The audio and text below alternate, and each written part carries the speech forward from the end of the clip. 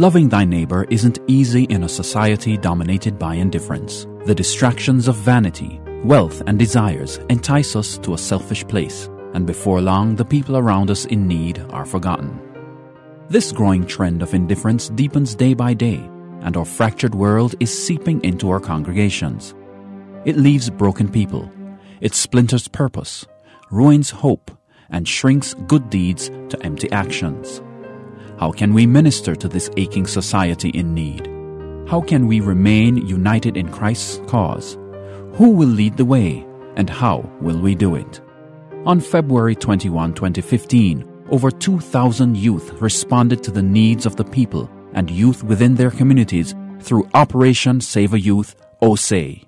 They spent time with the sick, built homes for the homeless, repaired schools, painted community buildings, donated blood to save the lives of other youth, prayed and offered encouragement to the hopeless.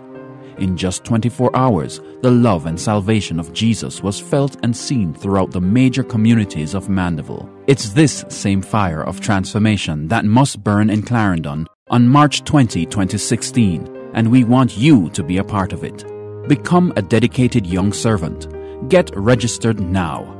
Download forms at www.centralja.org. Contact your local Adventist Youth Federation leaders, pastors, or call the conference's youth department at 984 2044.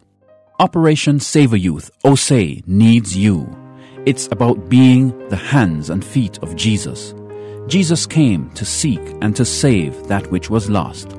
Let us follow his example and save our communities one youth at a time. OSAY 2016 Clarendon, March 20, 2016.